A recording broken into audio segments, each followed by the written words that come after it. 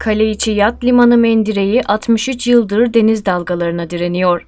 Antalya'nın göz bebeği Kaleiçi Yat Limanı'ndaki mendirekler risk oluşturuyor. Denizlerin aşındırmasıyla açılan mendirekler hem yat limanı tarafına kayıyor hem de vatandaşların yürümesine engel oluyor. 1960 senesinde dökme taş olaraktan inşa edilen Kaleiçi Yat Limanı mendireği aşağı yukarı 63 senedir direniyor. Fakat 2018'den beri takip ettiğimiz, yazdığımız, çizdiğimiz, e, basınla paylaştığımız Kaleiçi Yat Limanı'ndaki mendireğin bir çökme, SOS vermesi denizcilik tabiriyle. Buradaki e, sıkıntı havaların sıcaklığın artması, iklim değişikliği ve dalgaların yükselmesiyle denizdeki dalgaların toprak erozyonu, taş erozyonu ile denize tekrar geri dönmesi. Şiddetli bir dalga hareketiyle taşların yıkılabileceğini söyleyen Deniz Temiz Derneği Antalya Şube Başkanı İzzet Ünlü, daha önce Yunanistan'da yaşanan olayı örnek vererek ders çıkarılması gerektiğini belirtti.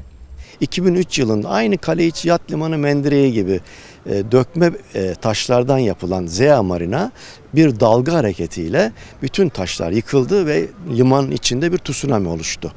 2004 yılında olimpiyatların Yunanistan'da yapılması nedeniyle marina tekrar yapıldı ve Doğuş grubu tarafından satın alındı. Yani bunu şunu demek istiyorum. Bir musibet bin nasihattan iyidir. Yani illa Antalya'ya olimpiyatların gelmesi mi gerekiyor? 2018'den beri can çekişen bir yat limanındaki mendirek var. Ne bir açıklama ne bir çözüm önerisi ne bir komisyon kuruluyor. Bunun acil eylem planı dahilinde değerlendirilmesini istiyoruz. Dalgaların aşındırmasıyla her geçen yıl bu açıklık giderek artıyor. 2018 yılından beri her sene Nisan ayı, Mayıs ayı, Haziran ayında geliyoruz. Ee, Çeşitli ölçümler yapıyoruz. Aşağı yukarı geçen sene 19 santim gelen bu sene 20-21 santim, 1,5-2 santim her sene açılıyor. Ee, şekilde de görebileceğimiz gibi e, şu anda burası 21 santim. Burası oturuyor ve limana liman tarafına doğru, içeriye doğru, iskeleye doğru bir yan yatma söz konusu. Ya buradan bakınca karşıyı Konya altını görüyorsun ve limanın öndeki taşlarda azalmalar var.